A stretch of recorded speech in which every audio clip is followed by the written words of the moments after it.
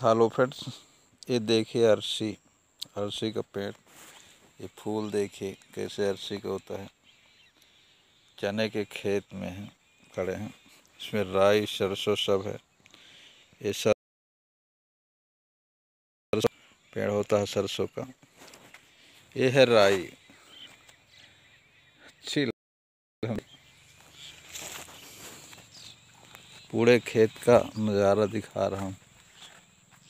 गाँव में कैसे इस समय खेती लहरा रही? ये देखिए, राई ही राई आपको दिखेगी। सब फूल में है। छिवौरा गाँव से मैं शूट कर रहा हूँ। आप जो देख रहे हैं, गेहूँ देखिए, एकदम से फूल में है।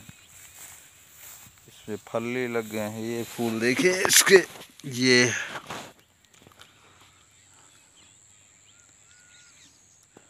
ये गेहूँ। गेहूँ है। ये सारा इस समय खेतों में लहलहा रहा है गेहूँ। राई लहरा रही है, फूल में है।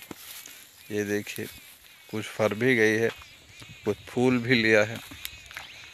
और सभी जगह खेती ही खेती है। किसान लोग बड़ी मेहनत से उत्पादन करते हैं। बड़ी मेहनत लगती है खेती करने में। रात दिन दिन में भी काम रात में पानी लगाना इस तरह की ठारी में। बड़ी मेहनत करते हैं किसान, तब जाके सब कर पाते हैं।